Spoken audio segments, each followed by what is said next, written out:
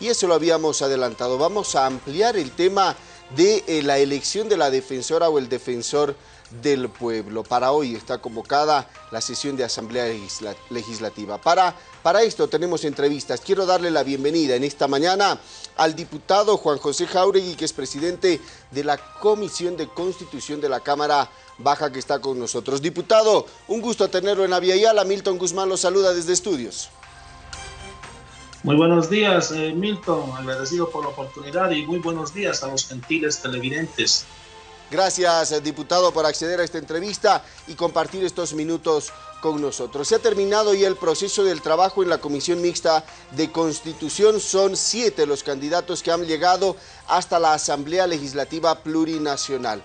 Para hoy está prevista la sesión que ha sido convocada y cuáles van a ser las características. Se esperaba, diputado, una reunión de jefes de bancada en la jornada anterior. ¿Se ha dado esta reunión?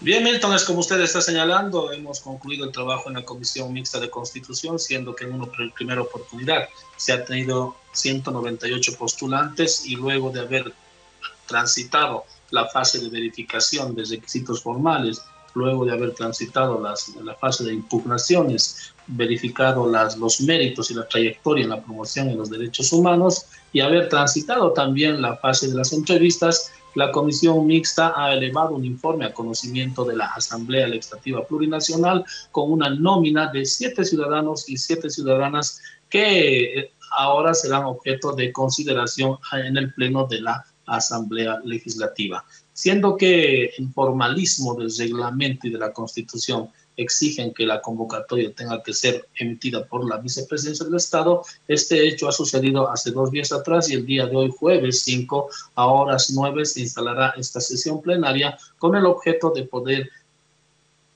designar al defensor del pueblo por eh, dos tercios de los miembros presentes, tal como establece el artículo 220 de la Constitución Política del Estado. En consecuencia, el día de hoy, instalada la sesión por tiempo y materia, se procederá a hacer la, eh, conocer al Pleno de la Asamblea los contenidos del informe final, la correspondiente nómina para que pueda ser objeto de consideración y realizar la votación correspondiente con la pretensión de poder alcanzar los dos tercios. Ahora, con relación a la, pregunta si es que se habría realizado o no la reunión de jefes de bancada que fue convocada por nuestro hermano vicepresidente, penosamente tenemos que señalar que no se ha objetivizado esta reunión el día de ayer, siendo que se ha cursado notas formales a las dos jefaturas de bancada del bloque de oposición para que puedan eh, sentarse en una mesa de diálogo para poder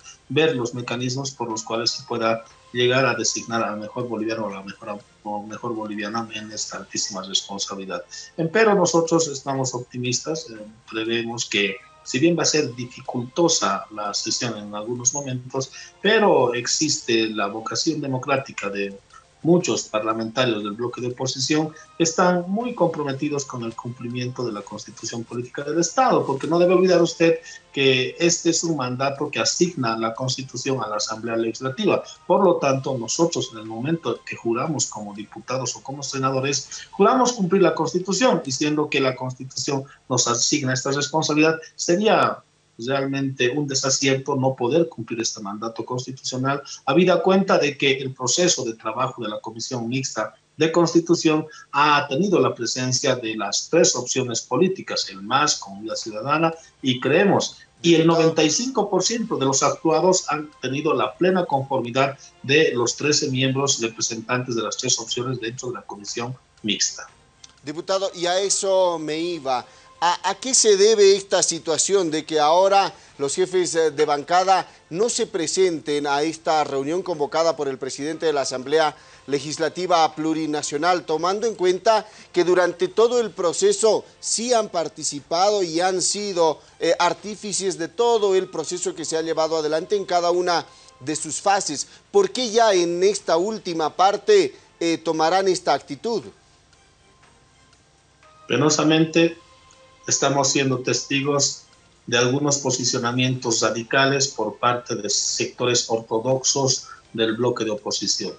Eh, nosotros hemos sido muy eh, cabales en el cumplimiento del reglamento, eh, se ha cumplido uno de los principios fundamentalmente, que es el carácter público de las sesiones de la comisión mixta, han tenido acceso todos los medios de comunicación, ciudadanos y ciudadanas que disponían de tiempo, se han apersonado por la comisión mixta, ha existido los correspondientes veedores, los actuados han, han estado vinculados al cumplimiento del reglamento, la constitución y la ley 870.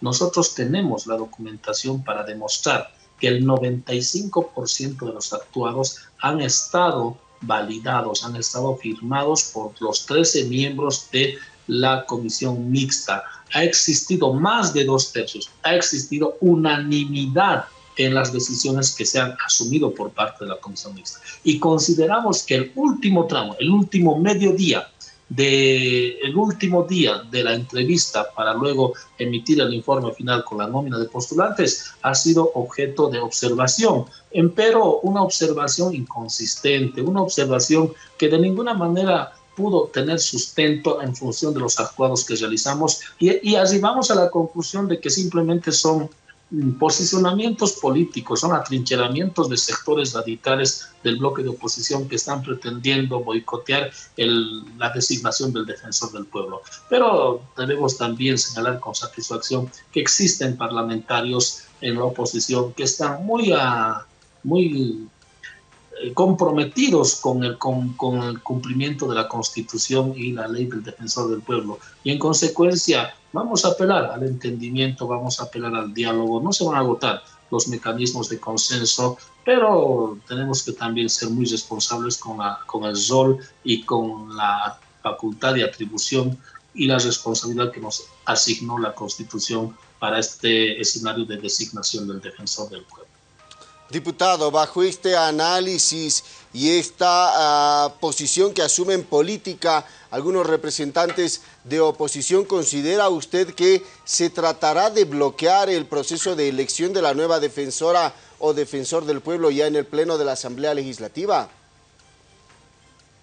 Bueno, en todo caso, el no acompañar un proceso en el cual se busque al mejor varón o a la mejor mujer que presida la Defensoría del Pueblo no representa otra cosa que despojar al pueblo boliviano del derecho que tiene de contar con un defensor del pueblo de un altísimo grado en capacidad profesional hablando y también de, un, de una trayectoria en la defensa y en la lucha por los derechos humanos. Consideramos que sería algo inapropiado, inaudito, irracional y absolutamente arbitrario que siendo que acompañaron el proceso de trabajo de la comisión mixta, participaron y estuvieron conformes con todos los actuados, resulta ahora que no puedan acompañar este último tramo que corresponde que todos los diputados y senadores nos pongamos de acuerdo para elegir de entre los siete al mejor boliviano de la mejor boliviana.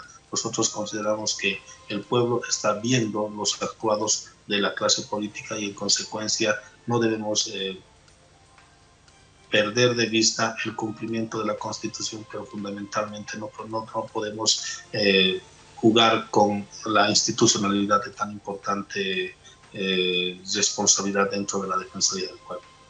Bueno, y esperemos que esto se vaya a dar. Diputado, ya para ir finalizando y hablando acerca del tema procedimental, ¿cómo es que se va a desarrollar la sesión de la Asamblea Legislativa? ¿Cuáles son los pasos? Usted nos decía, esta sesión va a ser por tiempo y materia. ¿Qué implica ello? ¿Cómo debe ser la votación? ¿Por cuántos votos se debe elegir a la nueva autoridad? Bien, en realidad el reglamento señala en su artículo 20 que una vez remitido a conocimiento de la vicepresidencia del Estado, esta debe convocar a una sesión de Asamblea Legislativa Plurinacional. Este actuado ya se cumplió hace dos días y se ha señalado como fecha el día de hoy, jueves 5 a horas 9, la instalación de una sesión de Asamblea Legislativa Plurinacional. Ahora, siendo que es el único punto a tratar y, y existiendo la necesidad de resolver, habida cuenta de que estamos a escasos días de la conclusión de mandato de la actual defensora del pueblo, se tiene que señalar esta sesión por tiempo y materia. Una vez la sesión por tiempo y materia señala que no podemos eh, suspender la sesión, eh, no podemos dejar de lado, no podemos instalar otra sesión con otro temario sin antes concluir esta. Es decir, podemos demorarnos el día de hoy, toda la semana debatiendo y tratando de construir consensos. Luego, el escenario de la votación está vinculado al cumplimiento del artículo 20 del reglamento para la elección y designación del defensor del pueblo que señala que la designación o la votación para la designación se realizará por escrutinio. En consecuencia, debe esto cumplirse, pero debe garantizarse también el cumplimiento en, este en esta votación por escrutinio del artículo 220, que en su primera parte señala que debe arribarse a los dos tercios de los miembros presentes de la Asamblea Legislativa para la designación conforme al precepto constitucional del defensor del pueblo. Y diputado, acompáñeme a revisar el siguiente cuadro, porque tenemos a los siete postulantes a la Defensoría del Pueblo. Pantalla plena, por favor, para conocerlos y dar a conocer cuáles son los nombres. Siete candidatos a la Defensoría del Pueblo.